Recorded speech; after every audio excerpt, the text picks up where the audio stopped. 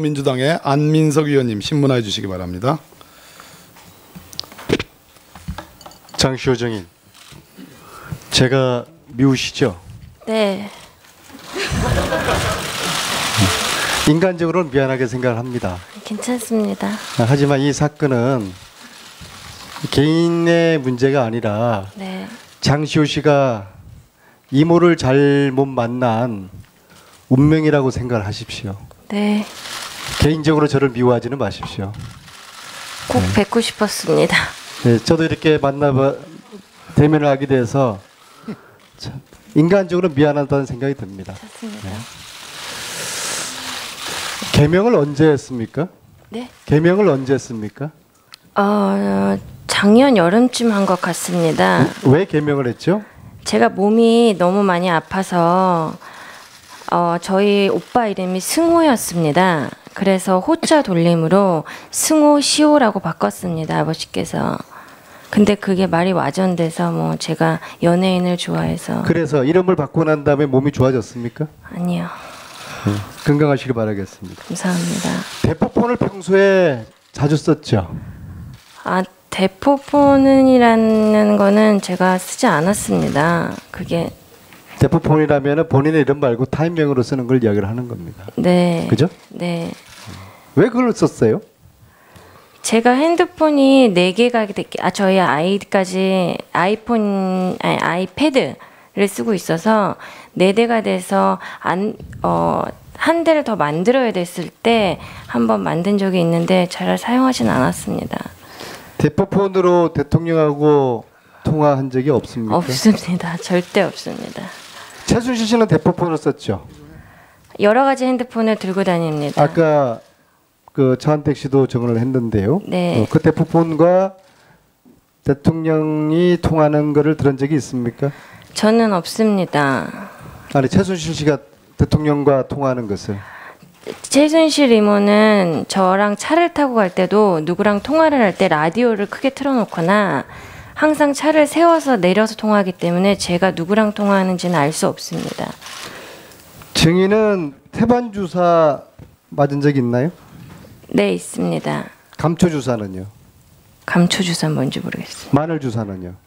피곤할 때 맞았습니다. 배곡 주사는요? 안 맞아봤습니다. 14년 말에 제주도에서 강릉으로 그치로 옮겼죠. 아니요, 서울로 옮겼습니다. 저희 친정 부모님네로. 강릉으로 옮기지 않았습니까? 강릉에 한 번도 가본 적 없습니다. 함께 살았던 사람이 지금 이야기를 하는 겁니다. 강릉에서 저랑 산 사람이요? 남양주 별내에 사무실이 있죠. 예, 예전에 있었습니다. 역삼동에도 있죠. 네, 예전에 있었습니다.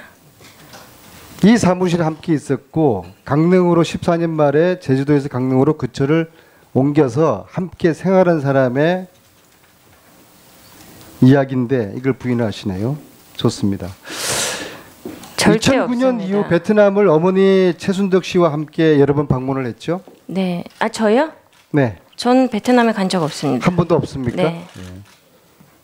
그거는 여권 기록서 보면 아실 겁니다. 자, 오빠 네. 장성호 씨가 2008년에 베트남에 산 이유가 뭡니까? 저- 오빠가 원했나요? 네, 아마 그런 걸로 알고 있어요. 오빠가 원한 건가요? 네, 네. 13년 5월 전에 전대주 씨를 만난 적이 있죠. 베트남 대사. 제가요? 아니, 저는 없습니다. 최순실 이모가 최순실 씨가 10월 30일 귀국해서 31시간 호텔에 있었을 때 네, 그때 만났죠. 안 만났습니다. 연락도 안 했습니까? 왔습니다. 공중 전화로. 무슨 이야기를 했습니까? 유연이랑 유주 잘 부탁한다고 얘기했습니다. 그게 답니까? 네, 공중 전화로 굉장히 짧게 통화했습니다. 왜 공중 전화로 했을까요? 핸드폰이 없었던 것 같습니다. 자, 알겠습니다. 자, 차은택 증인 14년 6월에 기영시 시에서 골프 칠 때 이대 네. 교수 한 분이 있었습니까? 그 어느 학교 교수인지는 제가 잘 모르겠습니다. 그냥 호칭을 교수님이라고 했습니다. 아, 그렇습니까? 네. 누군지는 모르고요. 네. 예. 차은택 증인도 휴, 대포폰을 썼습니까? 최순실 씨하고 통화할 때 이용했습니다. 몇 대를 썼습니까?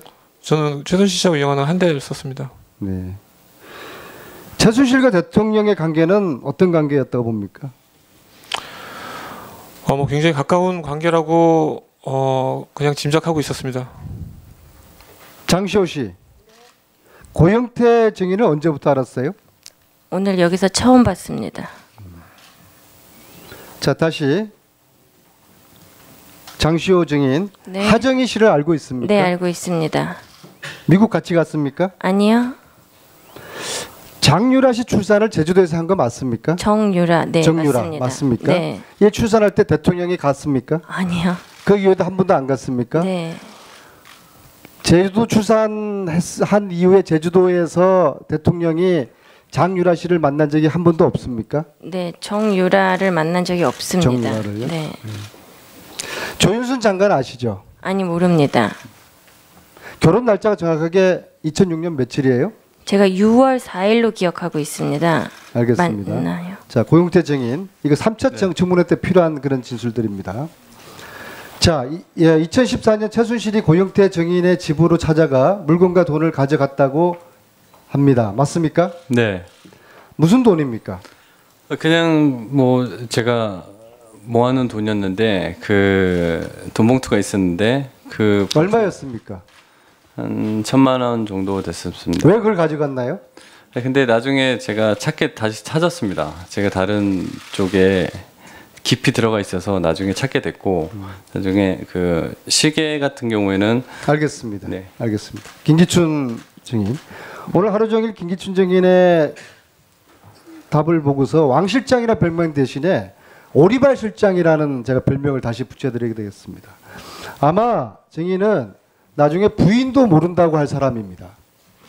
어떻게 대한민국 청와대에서 권력을 주무르고서 모든 사실을 모른다고 이야기합니까? 증인도 대법원 썼죠. 쓰지 않았습니다. 자, 다음 질의하십시오. 저 그 지금